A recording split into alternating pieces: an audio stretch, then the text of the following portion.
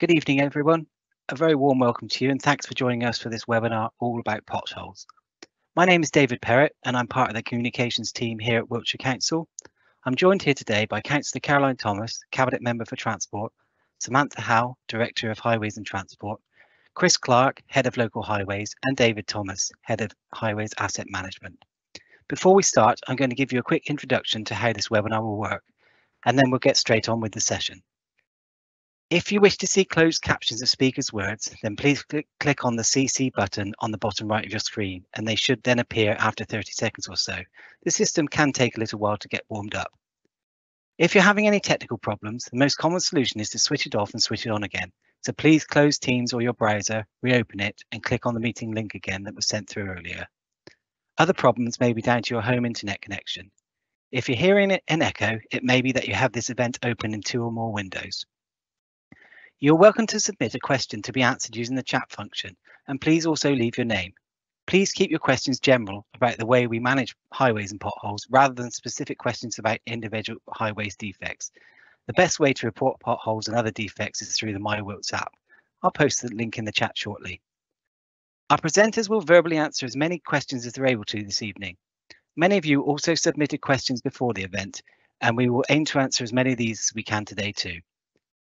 You should be able to see the slides on your screen and over on the other side, you should be able to see the Q&A panel. For some of you, it may be beneath your screen and you'll need to scroll down to see it.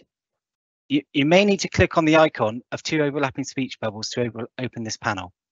We will also use this panel to make any announcement and post useful links. Finally, I just need to make you aware that this webinar is being recorded and the recording will be uploaded to YouTube after the event. However, the only the only faces and voices that will be heard and seen in the video are those of the presenters. Anyone attending the webinar won't be seen or heard, though their questions may be read out. Now we move on to the agenda for this evening. I'll shortly hand over to Councillor Caroline Thomas, Cabinet Member for Transport, to introduce the webinar. Then Samantha Howe, Director of Highways and Transport, will talk about the background to the current pothole situation in Wiltshire. Next, Chris Clark, our Head of Local Highways, will explain what we're doing to fix potholes and then David Thomas, Head of Asset Management and Commissioning, will discuss how we approach asset management. Finally, we'll hold the question and answer session. I'll now hand over to Councillor Thomas to introduce the webinar.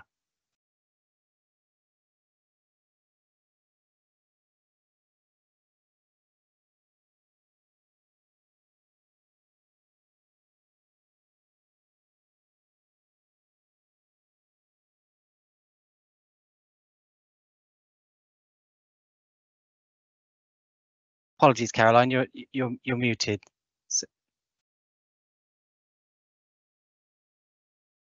I'll unmute myself. okay, I'm sorry about that. Good evening, everybody, and welcome to this webinar all about potholes. At Wiltshire Council, we know just how passionate people are about potholes, and that's why we're holding this webinar uh, to enable you to find out how potholes are inspected, prioritised and filled throughout the county, as well as provide information on our longer term maintenance schedules and answer some follow-up queries. Now, I know we've had some responses to this webinar along the lines of, you should be filling potholes, not talking about them. But I can assure you that no money or practical resource has been diverted from work being undertaken on the ground. And I do think it's really important that we explain what we're doing with the funding we have, and hopefully this webinar will do just that. So I'll now hand you over to Samantha Howe, our Director of Highways and Transport.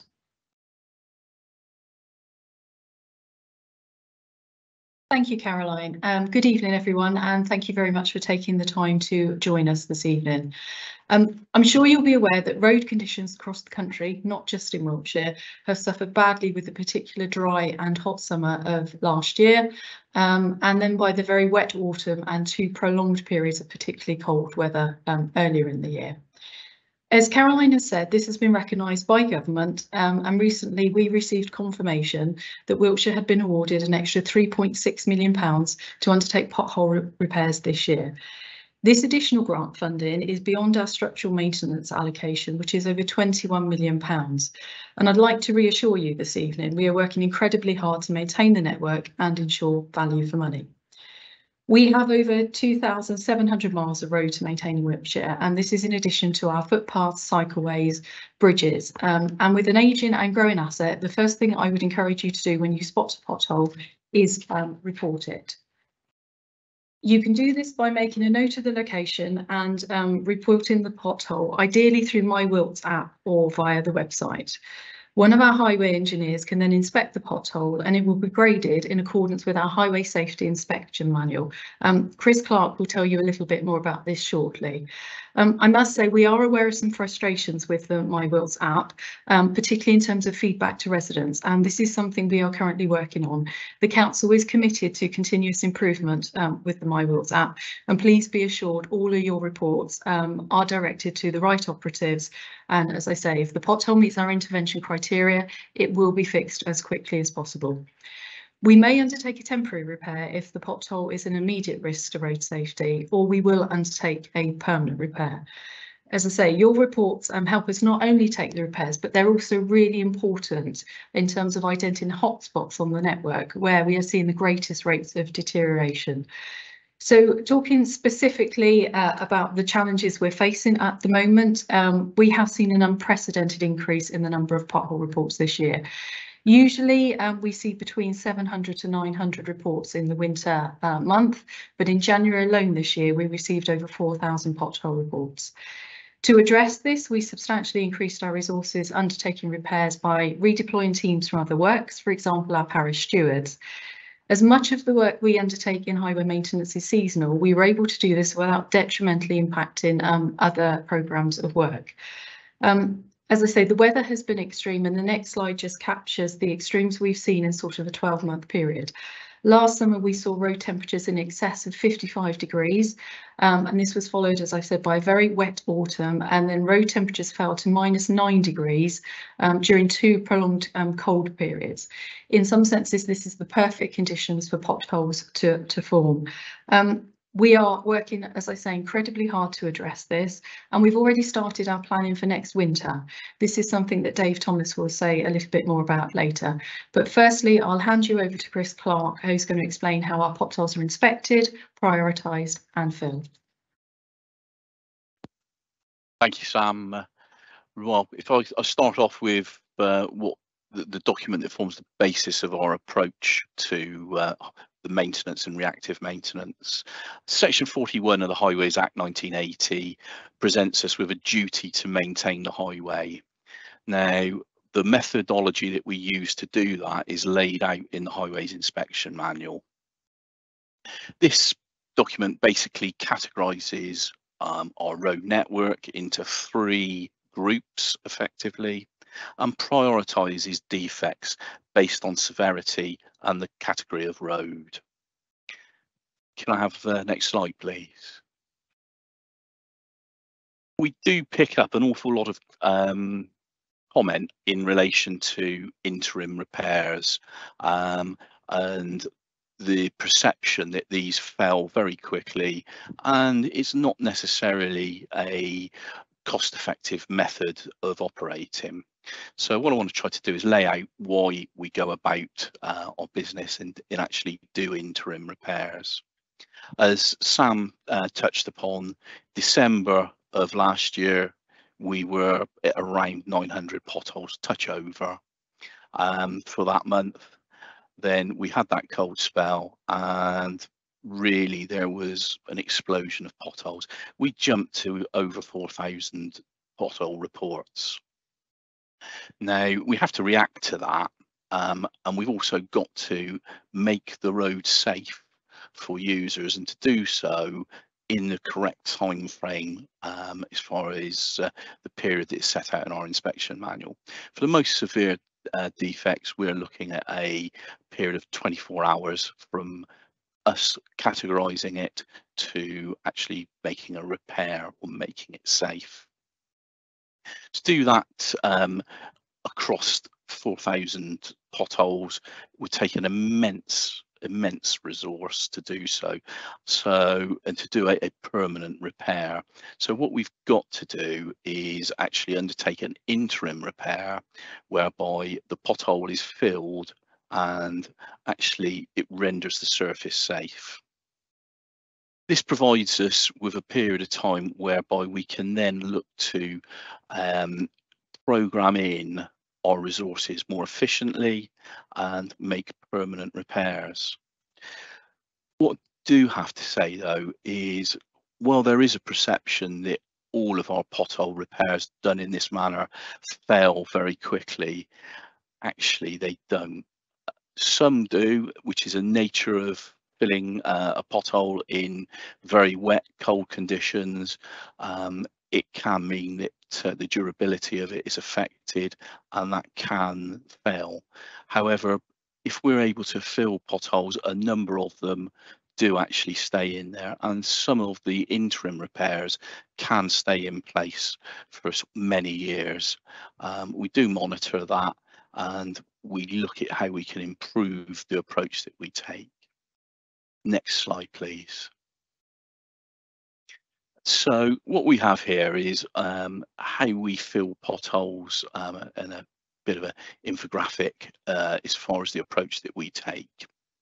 Uh, now, sort of our teams will cut out where we are undertaking a permanent repair of the pothole. Um, and we look to remove any of the loose material. Uh, any sort of uh, moisture uh, water that is left in the hole is brushed out along with any debris. We next add a bonding coat uh, or tack coat as it's known uh, in the business as it were. This uh, improves the bond between the material that is going in there and the existing surface and prevents water ingress along the joint lines. We will then fill the hole with an approved material. Now, that can be a proprietary cold lay material and that can um, also be a hot material um, from a quarry or stored in one of our depots in a hot box. Now, the level that we fill the pothole to is surcharge slightly above the level so that when we get round to the next stage which is uh, compacting the uh, material there it's done so um, without creating a, a, a, dip in the surface. It's always a challenge to try and get that right where you're doing small areas. It can create something of a ride quality issue but we tend to um, look at that as preferable than uh, having the hole left there in situ. And following the sort of uh, completion of that, then we'll tidy the site up, remove any debris and move on to the next site. Next slide, please. Now, a little bit more about permanent repairs. What we are looking at um, is that piece of equipment that you can see in the uh, top of the slide there, which is a skid steer uh, machine with a front milling attachment on it. What that will do is enable us to cut patches out, um, which you can see below, in a square tidy fashion. Um, it it's also very good because it prevents um, operatives having to gun out the material with uh, a breaker pack. Um, so it prevents uh, what we call hand-arm vibration syndrome for uh, the guys doing the work. It's also much quicker to operate in that way. Then what we would look to do generally with this uh, size of patch that you can see there is use a hot material um, to replace the material that we've milled out. Um, that is laid generally by hand, um, but perhaps some of the larger areas, we'll, we'll look at a mini paving machine to undertake that work. Next slide.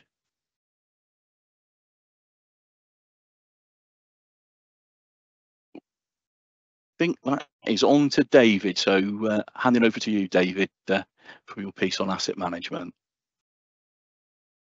Okay, thank you, Chris. Uh, good evening, everyone.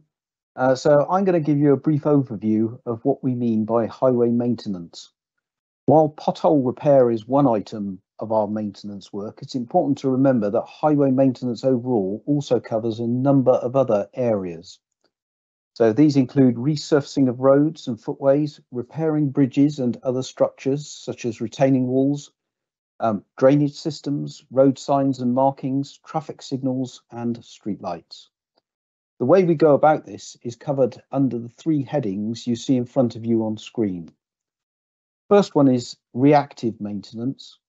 Um, this approach involves responding to issues as they arise, such as repairing potholes or replacing damaged signs.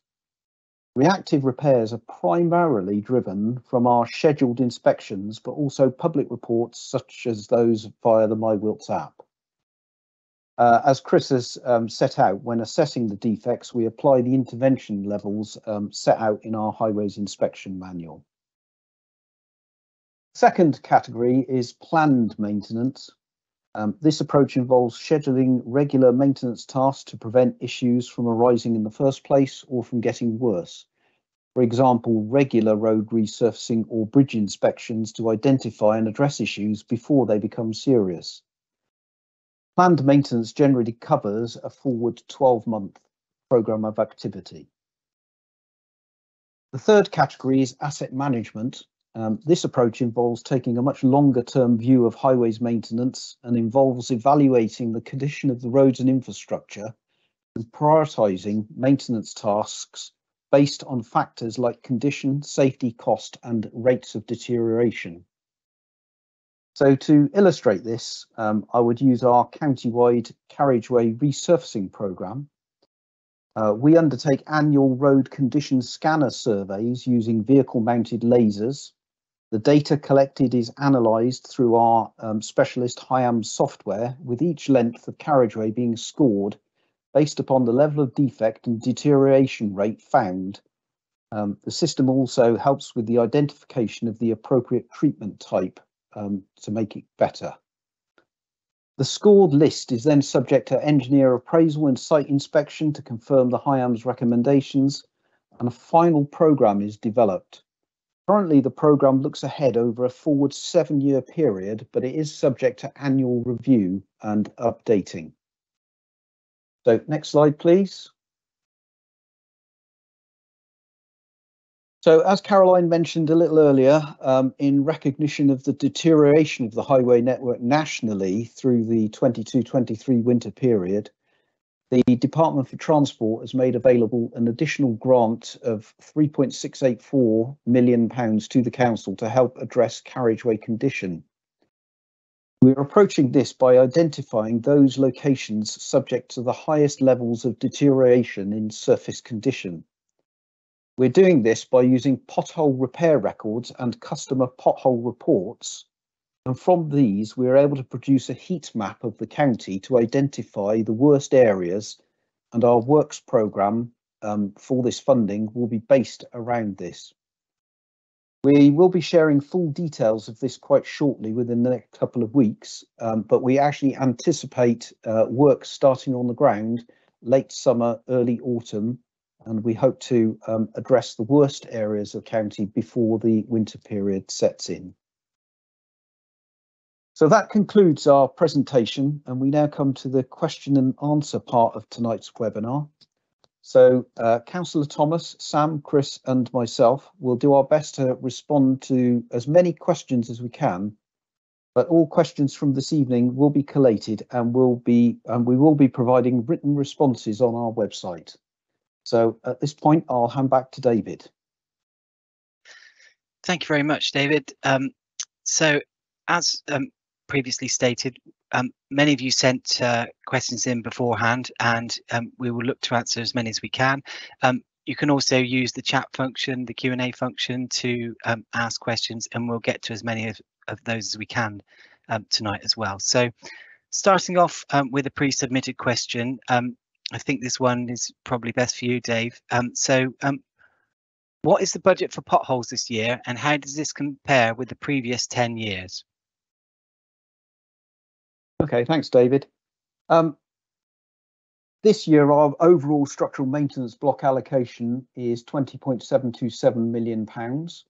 We have set aside a, an amount of money for potholes, but uh, because that is a reactive service, we can't define at this point how much money we will actually spend on potholes. It all depends on how the network progresses.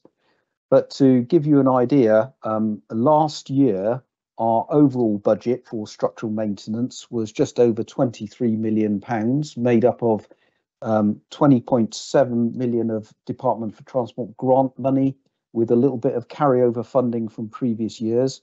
And of that 23 million, um, we spent 2.3 million pounds directly on filling potholes. Um, in comparison to year many years ago, um, 10 years ago, our overall structural maintenance budget stood at around 12 million pounds a year. So we have had a substantial increase um, in the available funding made to, to, us over the last 10 years. Hope that helps. Thanks very much, Dave. Um, uh, the next question is for Samantha, um, and it's uh, why can parish councils not have uh, road repair buckets or kits to fill potholes themselves? Thank you, David. I can fully understand this question, but I must say the Council's local highway authority is responsible for maintaining the highway network in Wiltshire, with the exception of the strategic road network, for example, the A36 and the A303, which is um, the responsibility of National Highways. We have a statutory responsibility to maintain the highway, and we would not endorse anyone repairing a pothole themselves. Um, different locations require different types of traffic management to ensure that road users and indeed people completing the potholes are safe. Um, and if a parish council were to do so, um, they would become liable for any problems or indeed any accidents that may occur. Thank you very much. Um, the next question is for Chris. Um, and it's, is it possible for the edges of roads in certain areas where the tarmac breaks away to be permanently filled with hard concrete so there is no need for the edges of roads to be repeatedly filled again? In the New Forest, this method has been used successfully, thus avoiding repeat repairs and saving vast amounts of money in the long run.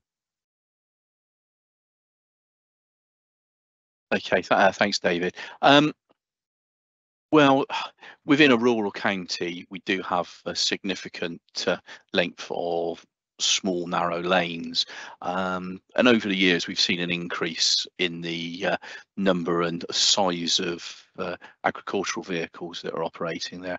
So it does have an effect whereby um, the edge of the road surface can deteriorate. Um, you'll be pleased to hear that we do have a program of what we consider to be verge strengthening.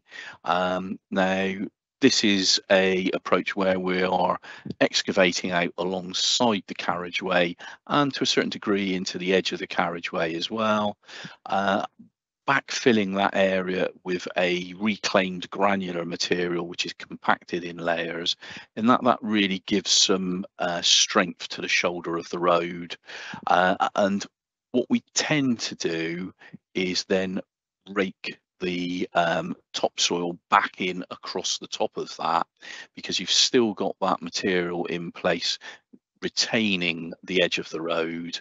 Um, why we do that is simply because uh, if we keep increasing the width of the road um, as cars get uh, farther and farther out, um, we, we're going to end up extending into the sort of uh, hedges either side of the road.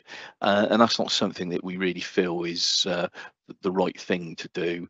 On occasions though we will resurface that uh, granular material with uh, a bituminous surface um, to sort of increase uh, its resistance to uh, the sort of uh, traffic utilising it. Um, but it is a challenge, as I say, for us, particularly in this rural county, county that we are. Thanks very much, Chris. Um, and the next question is for Councillor Thomas. So um, this person asks, why uh, do some potholes take so long to repair? For example, they reported um, one back in February and it was fixed in May. Thanks. Well, yes, it is very frustrating, isn't it, when you've gone to the effort of, uh, of reporting something through MyWilts and uh, and you don't see it getting sorted out fairly quickly. Uh, essentially, it's because when we receive a pothole report, it gets assessed by an engineer and it's given a priority.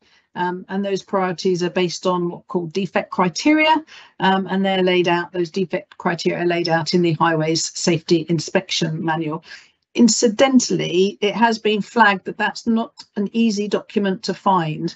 So um, I think we ought to make sure that is uh, easier to find, and I'll, and I'll ask um, I'll ask our guys to have a look at that.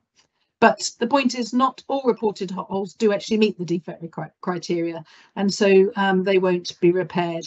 Um, but hopefully they will be picked up at a later date through other maintenance programs. Um, we aim to fix what are called priority one potholes by the end of the next day. Priority two, um, we give up to 14 days. Priority three, up to 28 days. Priority four, 60 days, and priority five ones are referred to um, to a to a manager for further consideration. And essentially, we we we have to prioritise um, because we've got inevitably um, we don't have you know finite resources um, and we have to make sure they're they're working on the um, on the top priority matters thank you very much caroline and um, yes i've posted a link to the um, highway safety inspection manual in the chat but i'll also um, I'm, I'm also going to post um, our kind of potholes page and uh, I'll make sure it's more prominent on on there as well um, in the coming days because that's where we'll um, also post a recording of this webinar and also the full Q&A as well. So the next question is for Chris and I think we might have covered this Chris but it won't hurt to go over it again. It's, um, how is work prioritized and this person says one can imagine priority is given to high volume roads, but the impact on residents of small villages is equally severe. Right. Okay. Well, re repeating uh, what Caroline's just said, we we do um, rely very heavily on the safety inspection manual to set out the categories and priorities that we will undertake repairs to. Um, it is a fact that um, as far as risk is concerned, where uh, the, roads are busier, there is an increased risk uh, to the road user simply because there's more people using it. So can be that it may feel that uh, rural roads are not getting uh, a fair crack of the whip, but we do actually look at those as well. It's just that actually where there is heavy traffic, uh, the road tends to deteriorate much quicker uh, and we tend to focus a little more on that um, rather than rural roads. But uh, as I say, please be assured that we, we don't forget about the situation with uh, rural roads. Thank you, Chris. Um, the next uh, question is for Dave, and, and this has come up a few times actually. It's um, does the council seek compensation from utility companies for repairs they have made um, due to poor reinstatement work carried out by these companies? If not, why not? Thanks, David. Um, yes, uh, Wiltshire Council is a permitting authority, so each utility um, provider has to get a permit to um, open any works on the highway in Wiltshire. So we control it that way. Um, in terms of utility uh, reinstatements, um, the quality of the reinstatement is set out in national codes that they have to abide by. Uh, the we inspect those once the work has been done to ensure that they're up to the correct standard. Um, we get a guarantee period from the utility companies. Generally, those guarantees are up to two years in duration, and any defects that occur within that two-year period the utility company has to put that right at their expense.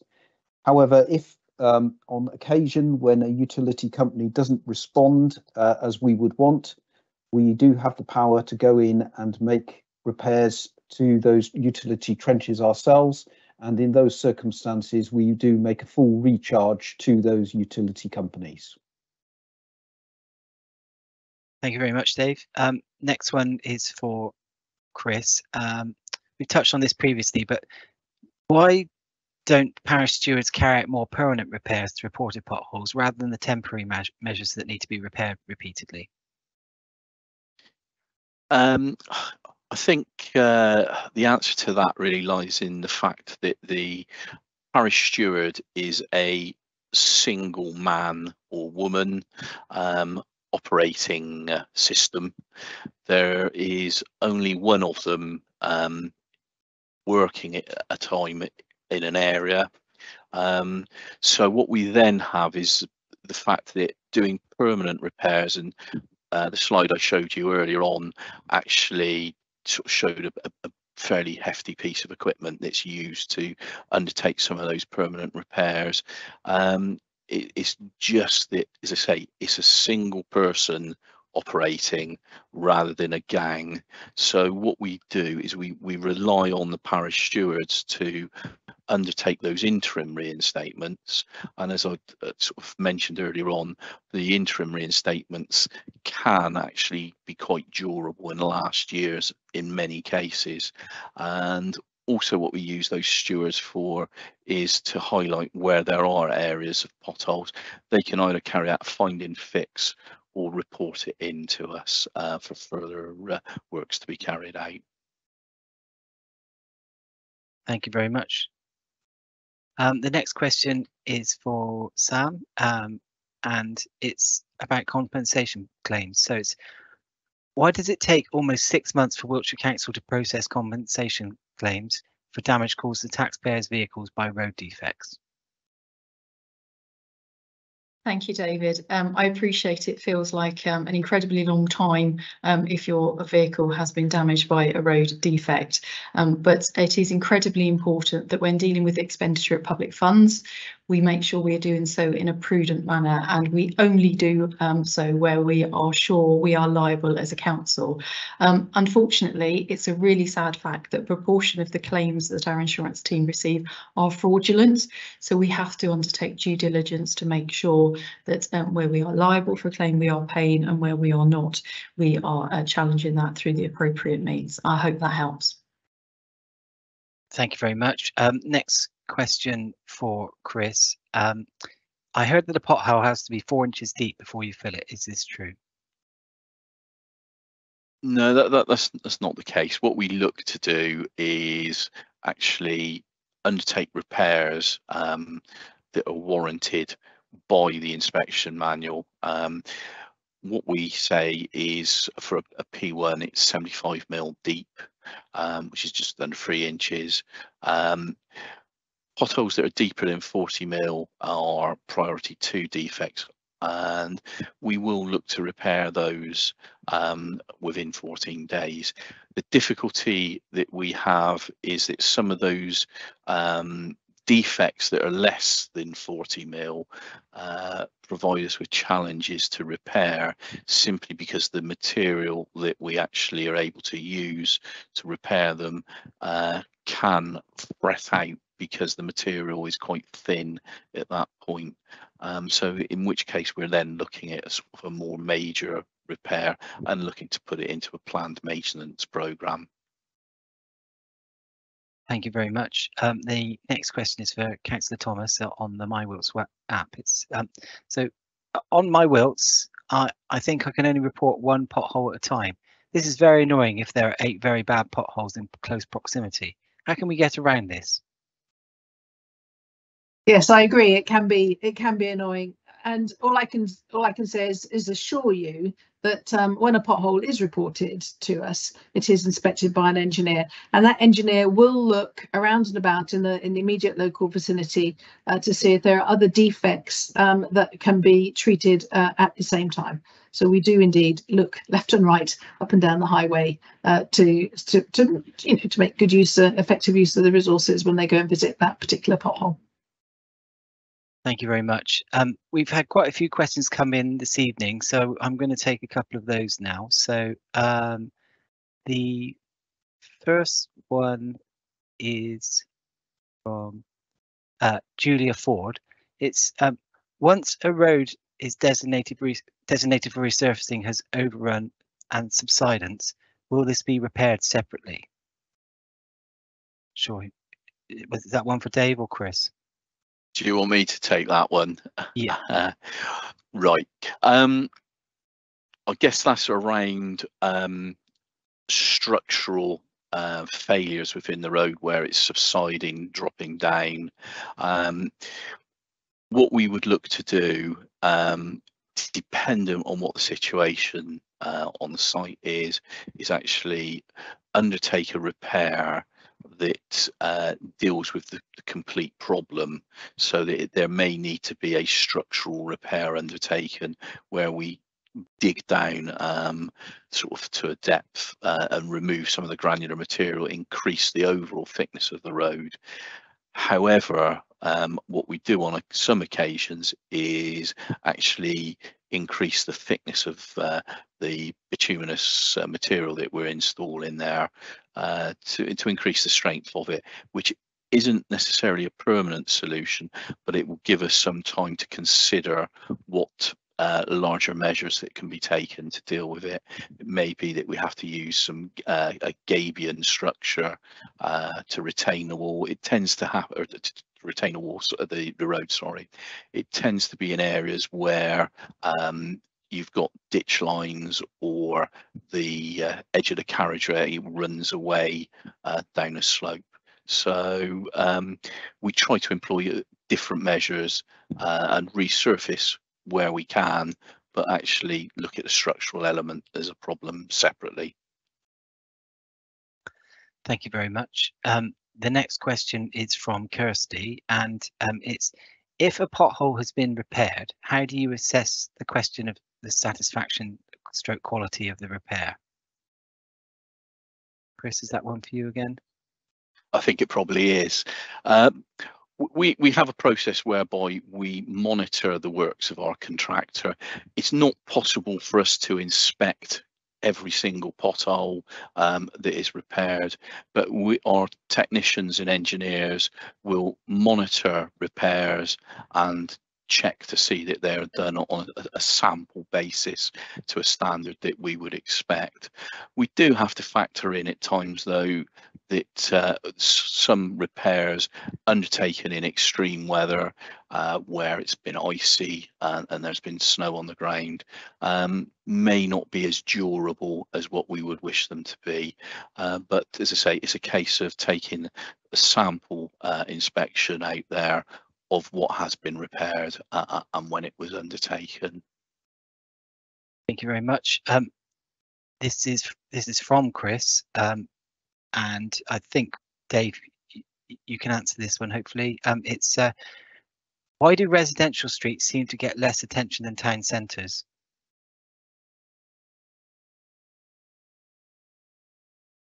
Thanks, David. Yeah, I think it's um, as has been said in the chat um, already, um, residential areas, lower levels of traffic, lower levels of, of, of movement of people, town centres, um, much busier places, higher volumes of traffic and people. And so the categorisation within the inspection manual gives those areas um, a higher priority. Thank you very much. And the next one uh, touches on cycling, which is something that's come up a few times. So um, this this one says, you will appreciate that potholes within a metre of the curb are deadly for cyclists. If we are trying to encourage people out from their cars, it would be better. It, it will be a better use of resources and make it, it and it would save money by concentrating on repairing a one metre strip out from the curb. Could the council consider this? I'm not sure who wants to take that one. I'll, I'll give that a go. Um, as I ride a bike quite frequently, um, I would say that it is something that we would look at um, as part of our uh, inspection process. The inspection manual guides us, um, but um, it's a fact that what tends to happen is where roads deteriorate, the edge closest to the curb line or, or the sort of um, verge tends to be the area where it picks up um, the most sort of defects and, and potholes. Uh, so we, we tend to pick that up um, as part of the inspection manual anyway, I would say. Thank you, Chris. Um, I think this one um, is for Sam. Um, it's from Karen Cannings and it's why is it so difficult to accurately pinpoint on the MyWilts app map when trying to report a pothole?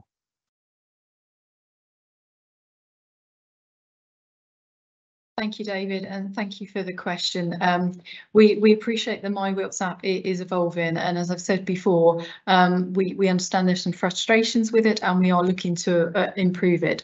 One of the challenges is the way the, the app um, corresponds with the uh, internal systems we use, and one of the improvements we're expecting to see over the summer is a, a, pinpoint accuracy in terms of location and also where we've notified where there's multiple reports, um, a better process for being specific. Um, so I would say uh, please bear with us. Um, I know it's a bit challenging at the moment, but the My app is certainly evolving um, and with our new contractors we are uh, looking at better data and better performance management, particularly in terms of specific location data. So I hope that helps. Thank you very much. Um, and the next question I think is for Dave, um, and it's from Kirsty. It's um, I live in an area where there are many quarries. A huge amount of road damage is clearly caused by the lorries that use the quarries. Do the quarry companies pay towards the road usage in their operating counties? Okay, thanks uh, for the question. Um, no, we don't get any direct funding from the road user itself. Um, uh, the road users, uh, the haulage companies, they pay their road tax along with everything else. That money goes into central government. Um, we get an allowance or a grant money each year from the Department for Transport, um, but that no way matches the overall income that is generated through um, vehicle taxing system. So the, the quick answer is no, we don't receive any direct funding from the users of the highway. Thank you very much. Um, and um, this is this one is from Chris that says, um, are any technologies coming on stream that will enable longer lasting surfaces? I'm not sure. Is that one for you, Chris? Yeah, um, there are many new technologies um, that are out there, and many of them will actually improve uh, durability of surfaces, um, be it uh, polymer modified uh, binders, um, different types of aggregate uh, being used um, within this sort of surfacing. Um, generally, the way that we lay um, bitmac hasn't changed considerably over the years. Um, there has been um, more emulsion type surfaces coming in um, and different types of surface dressing. Again, a lot of that is done around the um, modification of the binder that is used um, sort of for surface dressing. So yes, there are um, attempts to improve that situation by deploying um, technology uh, into uh, the surfacing sort of uh, business, as it were.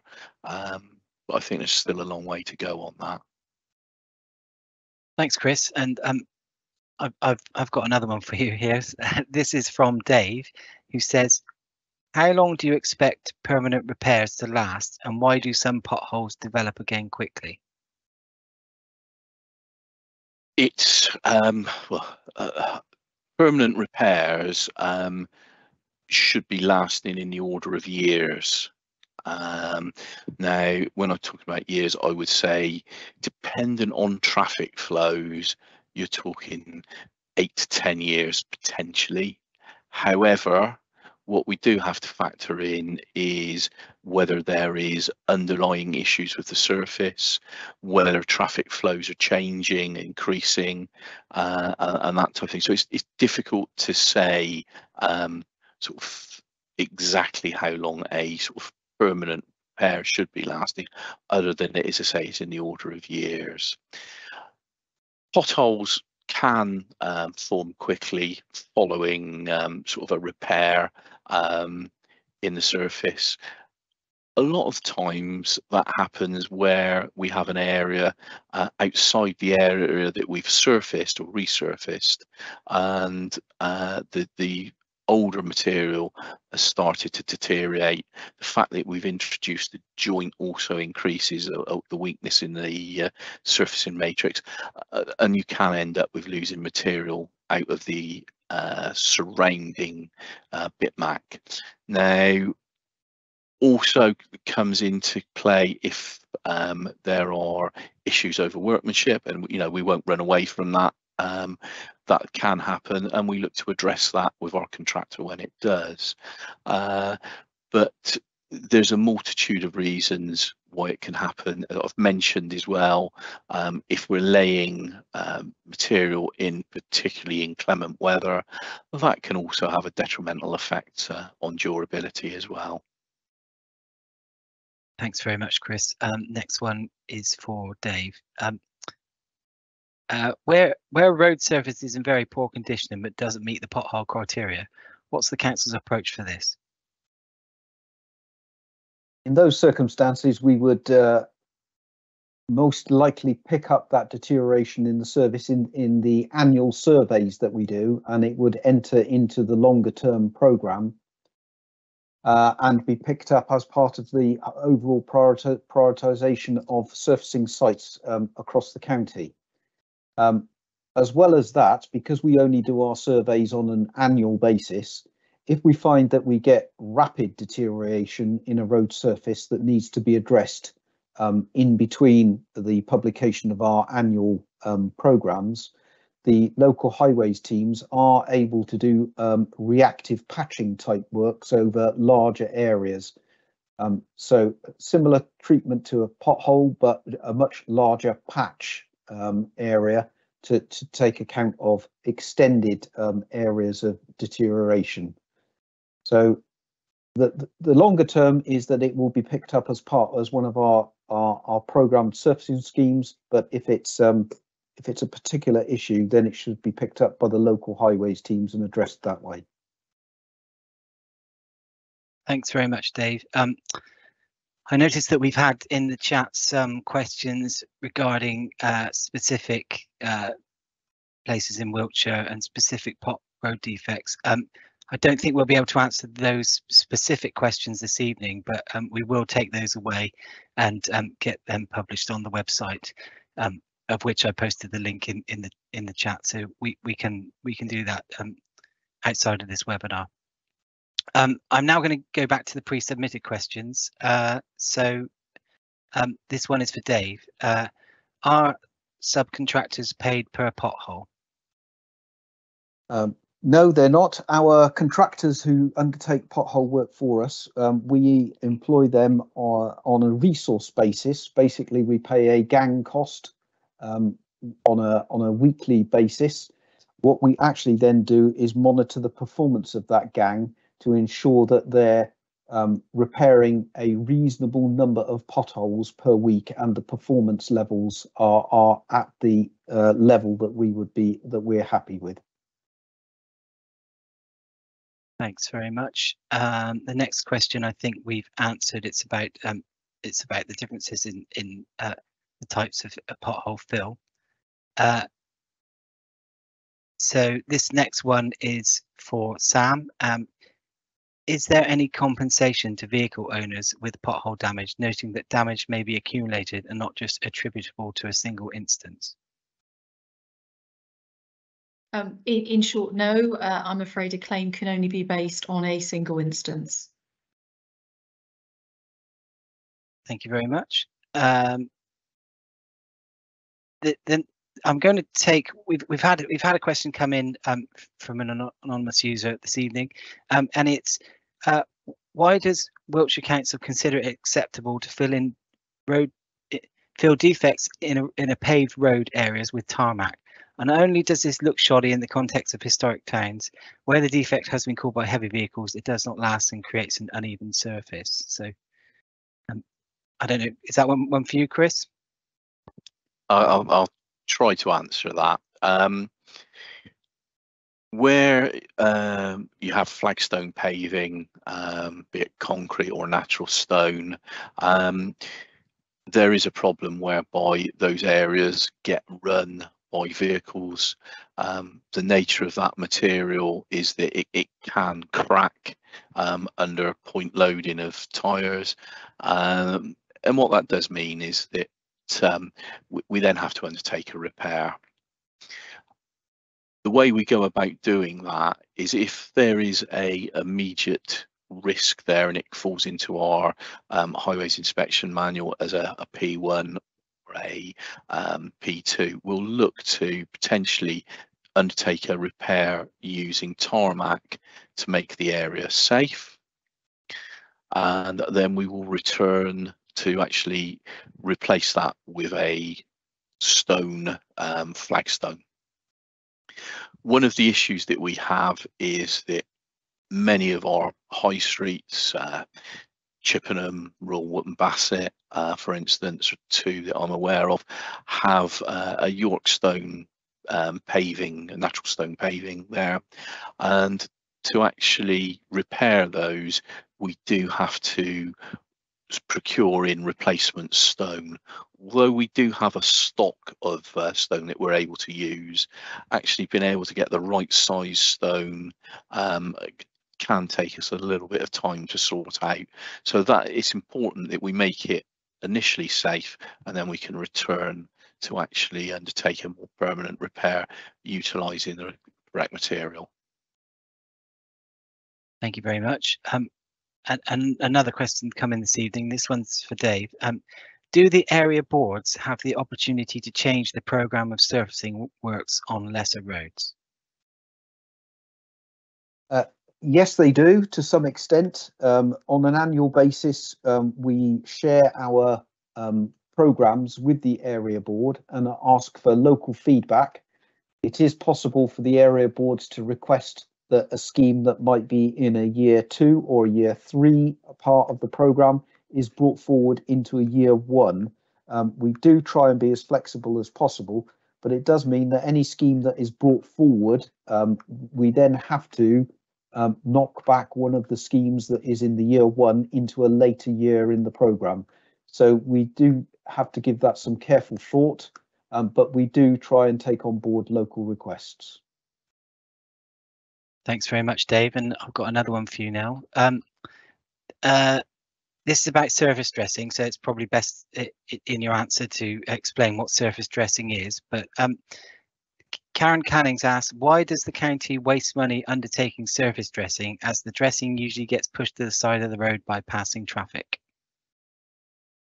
Okay, surface dressing is um, a thin surface course, so uh, uh, just a, a, slurry kind of tar laid on the road with some stone rolled into it. The intention of surface dressing is to seal the carriageway surface um, to stop water penetrating through the carriageway into the underlying layers and causing further defects. Um, it is a cheaper treatment than full surfacing, but it can extend the life of a carriageway um, up to 15 years.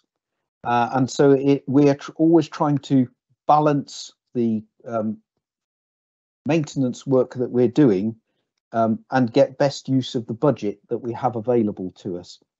So it's a bit like um, your own house at home. Um, if you're, uh, you might regularly decide to paint the windows of your house just to keep it looking smart uh, and to keep the wood in the windows all up together. The alternative is that you just wait for things to deteriorate to a level where you can't actually maintain it, you have to replace it.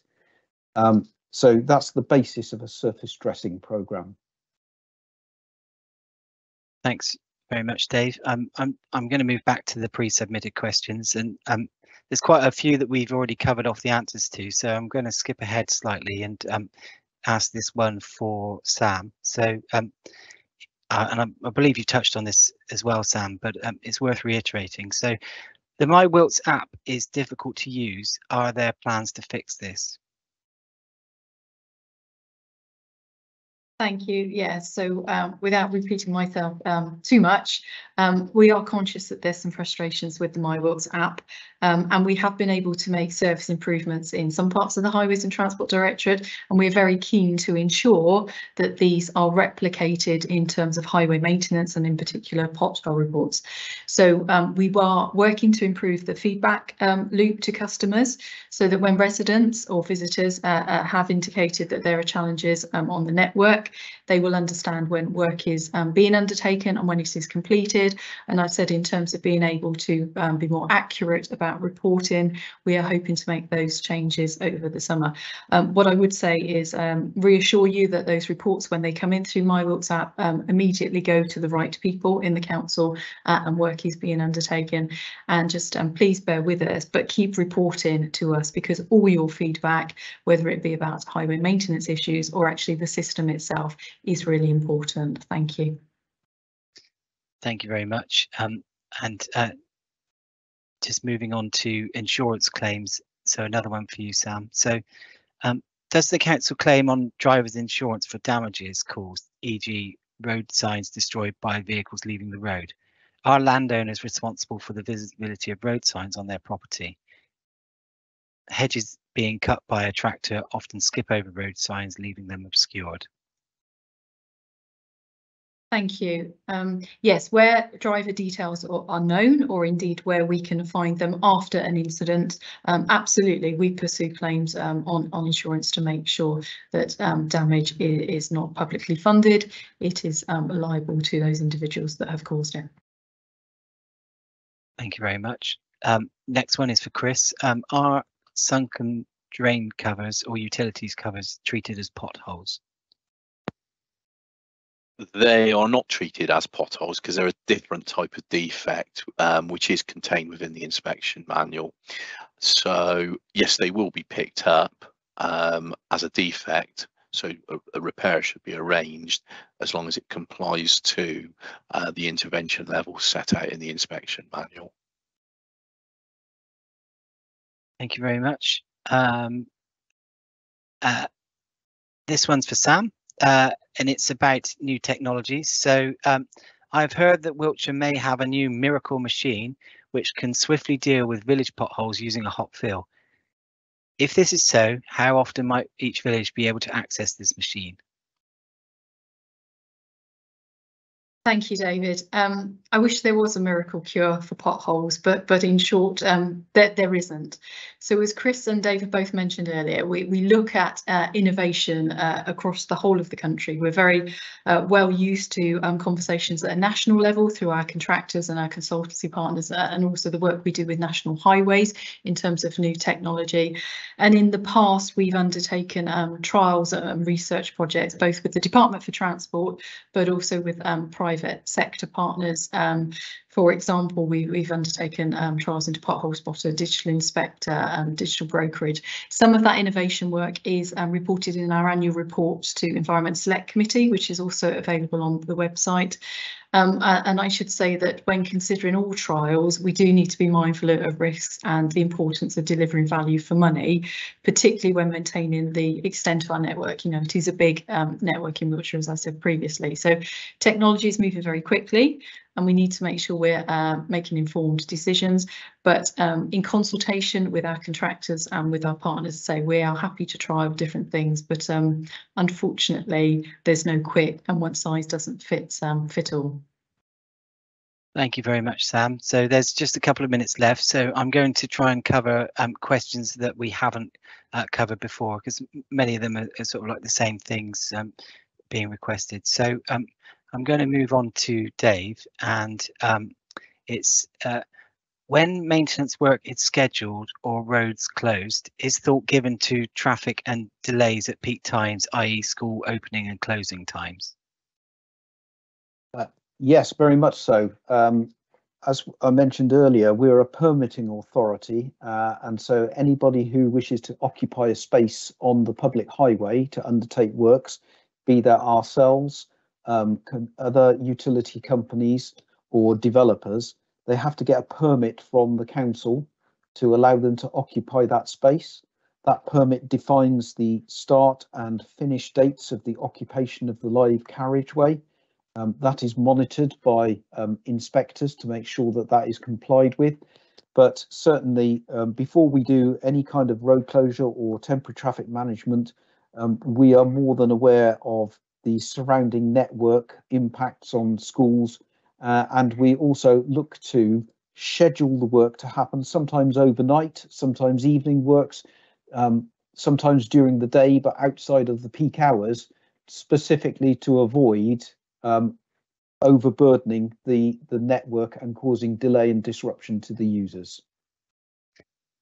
Thank you very much, Dave. And and that's the final question this evening. But as I say, any that haven't been answered, we will be publishing on our website um, in the coming days. And um, I posted a, a, link in the chat to that. So thank you once again for taking the time out to join us this evening and for your questions and comments. Uh, we hope you found it informative. Um, we'll up, as I say, we'll upload this webinar to YouTube and it will be available on our website in the next day or so. Um, I posted a, a link to that page in the chat and we'll also post the written Q&A that covers all the questions asked this evening on that page in the coming days. Thank you once again for joining us and have a good evening.